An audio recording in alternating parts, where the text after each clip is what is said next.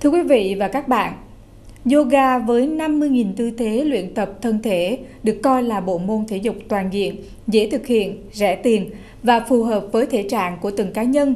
Những à, tín đồ yoga xuất hiện ở khắp mọi quốc gia, mọi tầng lớp xã hội.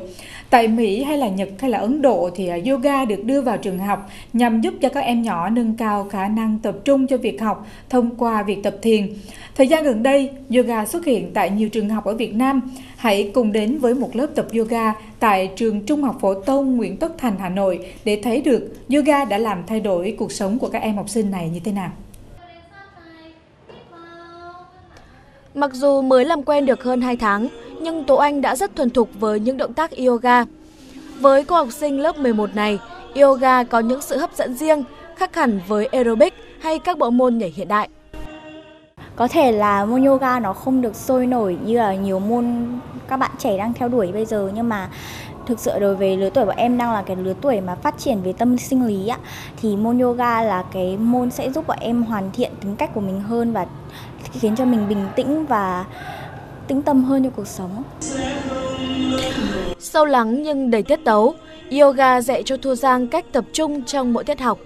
Ngoài ra, bản thân em cũng nhận thấy mình biết lắng nghe bố mẹ, thầy cô hơn, nhất là sau những lần mình phạm lỗi. Trong quá trình em tập thì em thấy sức khỏe rồi là cái tâm rồi tâm tâm trí của mình được cải thiện rất là rõ rệt ạ. Sức khỏe thì em giảm được một chút kg và uh, em thấy mình bình tĩnh hơn, thoải mái hơn và có khả năng tập trung cao hơn trong những cái bài kiểm tra của mình.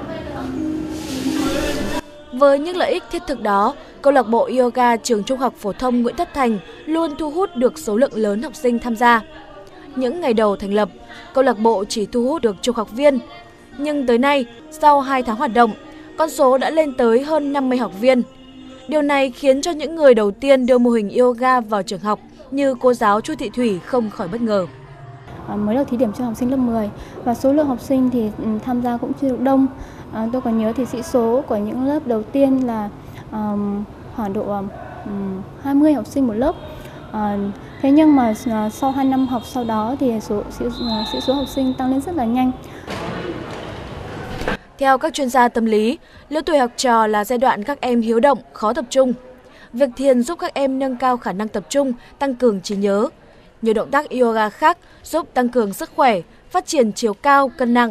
Sự chậm rãi, sâu lắng của các tư thế, âm nhạc trong lúc luyện tập yoga cũng giúp các em hình thành lối sống chậm, sống sâu, thay vì những ồn ào gấp gáp hiện nay.